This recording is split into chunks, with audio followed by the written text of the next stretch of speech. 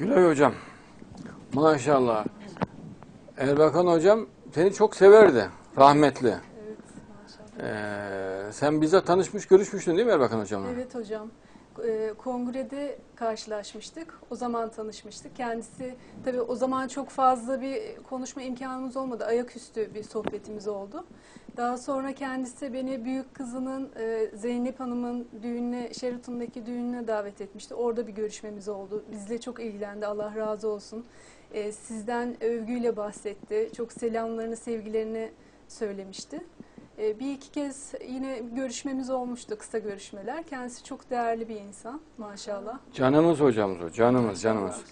Oğlu Fatih de eee, bize Allah'tan bir emanet. Evet maşallah. Fatih'i mutlaka saadetin başında göreceğiz. İnşallah. İnşallah. Hocam Evet. E, Refah Partisi'ne üye olduktan sonra, kongreden sonra Sayın Erbakan'ın e, eşi Nermin Erbakan'la da sizin vesilenizle tanışma imkanım oldu. Diğer iki kızıyla da. Rahmetli annemiz. Evet. Dünya tatlısıyla maşallah. Allah Evet. cennet eylesin yerini. Çok zarif kişiliği vardı. Çok güzel, ahlaklı bir insandı maşallah. Maşallah. Senin saadete girdiğin yıl hocamız başbakan oldu maşallah. Evet, Elhamdülillah. Bereketinle inşallah Allah vesile etti. Maşallah. Sen çok güzel bir kongrede konuşma yapmıştın. Ayet söylemiştin değil mi? Evet, kısa bir konuşma yapıp sonra e, sonucunda ayet söylemiştim. Bayağı bir a- alkış kıyamet koptu Maşallah. maşallah. Maşallah. Çok destek ve teşvik gördüm. Çok hoşuma gitmişti o zaman. Maşallah. Helal olsun. Elhamdülillah. Erbakan hocamız koç yiğitti. Öyle temkinli, korkak, ürkek, titrek değildi. Baktım Fatih de öyle. Aferin. Maşallah. Evet. Babası gibi o da. Böyle idare-i maslahatçı, korkak, ürkek falan tipler bunlar bir daha pek ifla olmuyor. Böyle tiplerden pek bir şey çıkmıyor.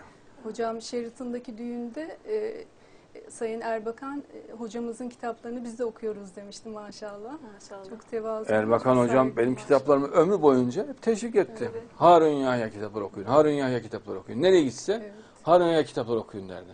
Herkes bilir. evet. Son çıktığı canlı yayında yine elinizde kitabınız vardı. E, Sürekli yanında evet maşallah. Maşallah.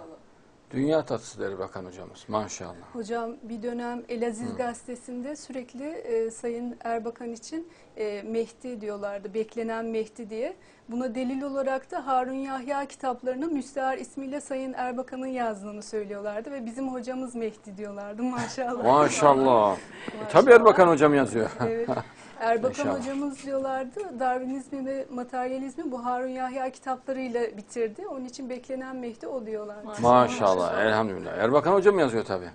Yani şöyle Erbakan hocam bizi yetiştirdi. Evet. Biz de kitapları yazdık Maşallah. inşallah. Dolayısıyla Erbakan hocam yazmış oldu. Maşallah. E ben Erbakan hocamın talebesiyim.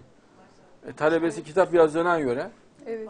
değil mi? Kimden öğrenmiş? Hocasından öğrenmiş. Biz de Erbakan hocamızdan öğrendiklerimizi yazdık. Maşallah. Maşallah elhamdülillah.